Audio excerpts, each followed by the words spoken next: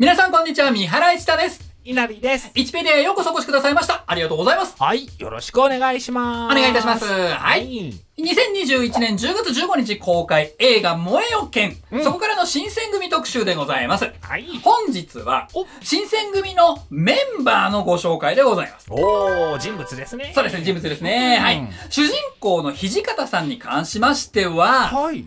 あえて最後に持ってきたいと思いますので、はいえー本日ご紹介いたしますのは、近藤勇美、そして、沖田総司。この二人のご紹介をしていきたいと思っております。はい。はい。ぜひ最後までお楽しみにお待ちください。はい。エチペディアでは歴史にまつわるいろんな出来事を皆さんと楽しくシェアできるようにしておりますので、よろしければチャンネル登録、通知ボタンの方お願いいたします。はい、よろしくお願いいたします。ははい、お願いします。ははい。い。えー、近藤さんと沖田さん。はい。新選組うんをちょっと知ってる方なら、ここの3人、土方さん入れてですね、うんここの3人ぐらいまでは割と知名度高いんじゃないかなと。そうですね。はい。。あとはね、次回以降でご紹介しますけど、まあ、斎藤さんなんかもね、うん。その漫画の影響で、そうですね。えルルローニケンシンのね、影響で、あの、ねだいぶ知名度が上がりましたけれども。とはいえ、やっぱり新選組といえば、まあ、近藤、沖田、土方と。まあ、リーダーですからね、言ってしまえば。そうですよね。うんはい。まあそこら辺が、あーやはり印象深いかなと思っておりますので、とりあえずまず最初にこの二人のご紹介。まず、近藤勇美です。はい。イメージ、どんな感じですかね？そうですね。拳が口の中に入る。それめっちゃ有名になったよね。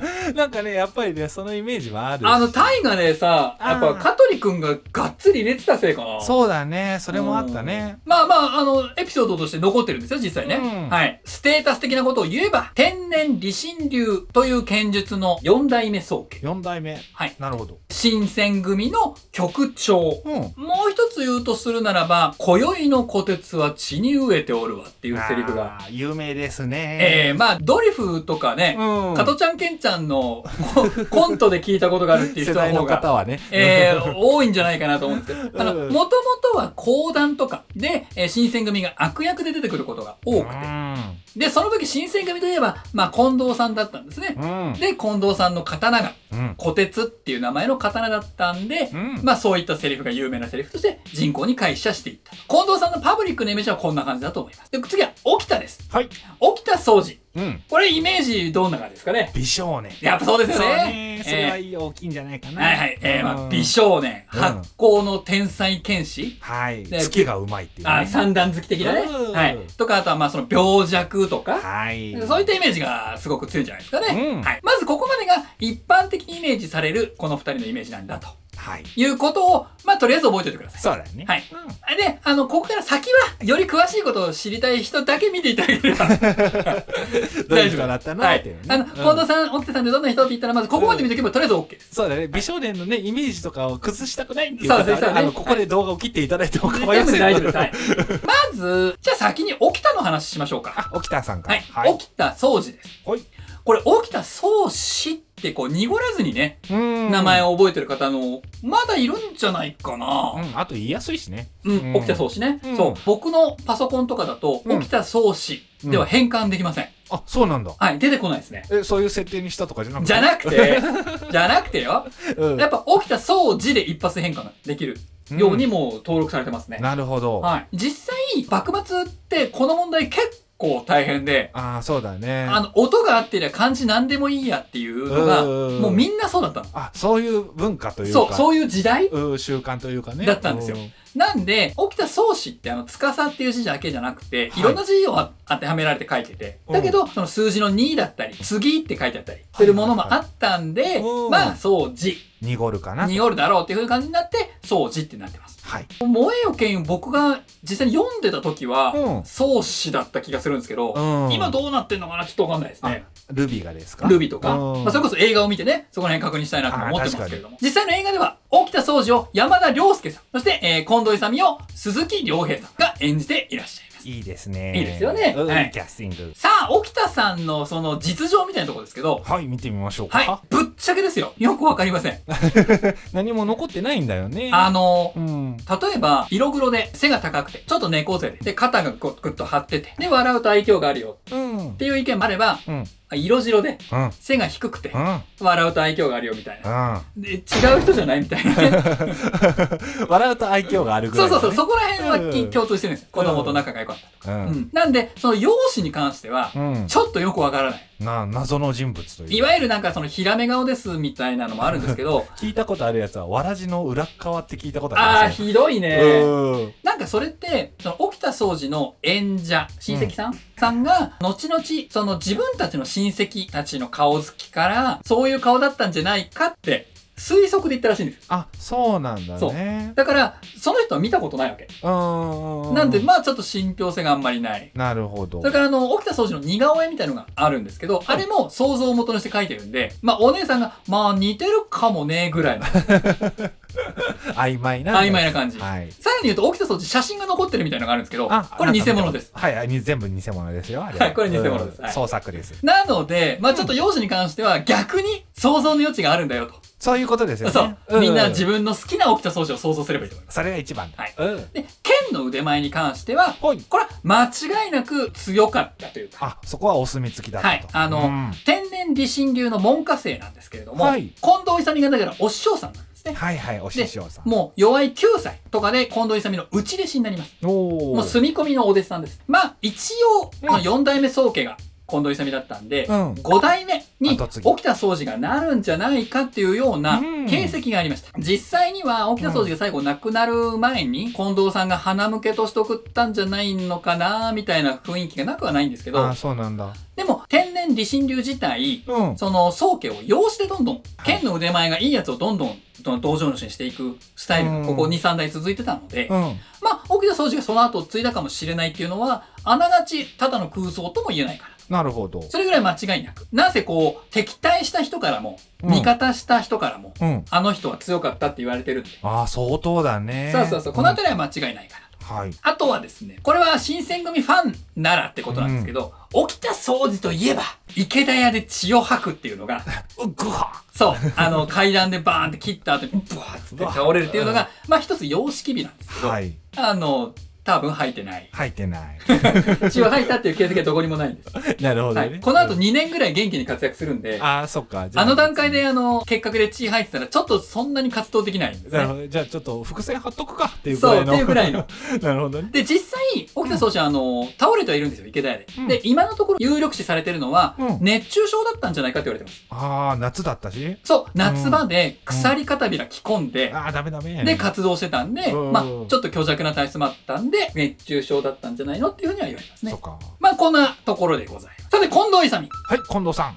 近藤さんに関しては、うん。まず剣の腕ですけれども、うん。なぜか、ちょっと弱いみたいな印象があるんですよ。あ、なるほどね。実際、うん長倉さんが残した言葉とかで、実際本気で立ち会ったら沖田の方が強いんじゃないか、とかそういうことが残ってたりとか。はいはい。あるいは、土方さん、それこそ萌え剣なんかでも、うん土方さんの方が強いみたいな描写になっているところがあったりとか。あるいは他にこう、斎藤とか、うん長倉とか、うん斎藤長倉沖田が大体新選組で最強は誰だっていうと出てくる名前が多いんですけど、はい。近藤さん入ってないですね。入ってないんだ。ここで僕の持論を一応言っておきます。あ、はいはい。近藤さんめっちゃ強いからね。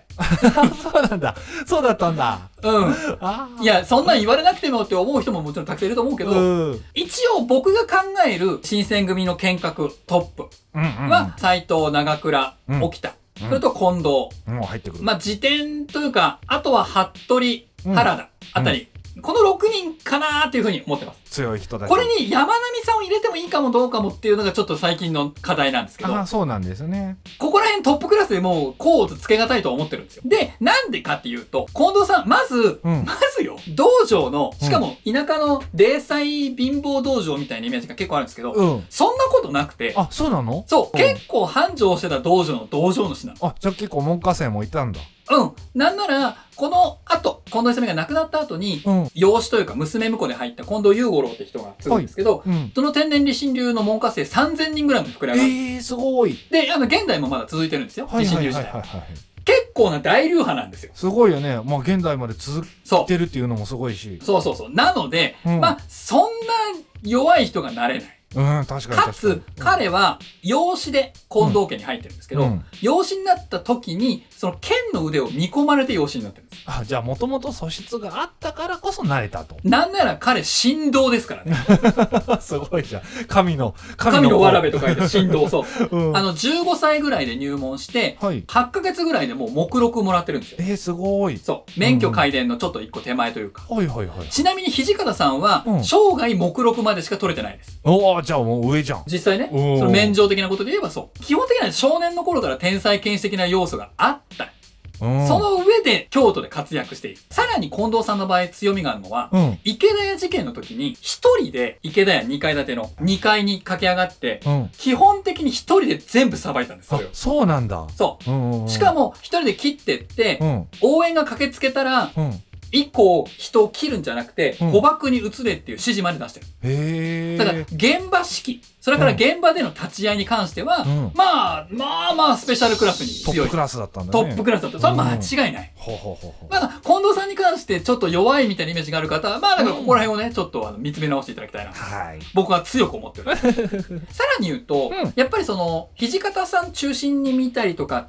あるいはその他の大使中心に見たりとかするときに、うん。なんかちょっとこう、いい人扱いというかね、合法来楽でちょっと抜けてるというか、うんあの、田舎者感をすごく強調されて描かれることが多い。はい。それが近藤さんの、まあ、宿命というかねうん、従来の描かれ方なんですけれども、実際には新選組としてうん。上洛して新選組を名乗ったあたりから、うん。うん結構政治活動をやっています。あそっちの方にちょっとシフトチェンジというか？うーん、そうね。うんそして別にそれもよくわかってない奴が勝手に言ってるよみたいなことじゃなく、その時その時の時勢に合った意見を結構強硬に主張して、相手もああ、なるほどみたいなことに結構なってる。とはいえ政治家として上等だったかっていうほどじゃないんだけど、かといっててじゃあ全然ダメだかっていうほどでもない。だからそこら辺を下にも見すぎちゃダメだし、上にも見すぎちゃダメなんだけど、なるほどねいろいろちょっと誤解が多いポイントとしてはそういうとこまあ賢かったんでしょうねそうです。あの、うんすごく勉強家だったしね、実は。ん手垢でもう黒光りしてたって、後のそう、あの、新聞社を起こした福地さんっていう人がおっしゃってたりとかするので、まあ、あの、勉強家だったし、剣術家としても一流だったし。ただ、まあね、後半、あんまり良くなかったんだけど。良くなかったけどね打たれた以降ぐらいからね、あんまり良くなかった。まあまあ、うんそれはちょっと置いといて。さあ、近藤さんと沖田さんについて、うんいろいろとおちょっとお話をさせていただきました。はい次回の動画では、うんちょっと詰め込みになりますが、3人紹介します。3人いきますはい、えー、長倉、斎藤、原田と。新選組のお初期、その中核を担った剣士たち、このお話をしていきたいと思いますので、そちらも楽しみにお待ちください。はいはい。それでは次の動画でお会いしましょう。さよならさよなら